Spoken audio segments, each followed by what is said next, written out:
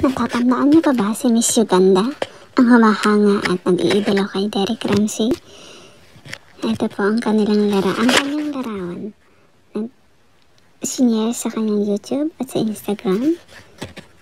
Panoorin po natin na mukha siyang masaya at inspired. So anong palagay niyo guys? Meron ba silang pag-asa ni Derek Ramsey? Ngayon hiwalay na si Derek sa kanyang girlfriend na si Andrea Torres. Ito naman ang mga bagong larawan o latest update picture ni Miss Uganda. Mukhang masaya at in love. Mukhang may kausap. Panoorin po natin ang kanyang mga litrato.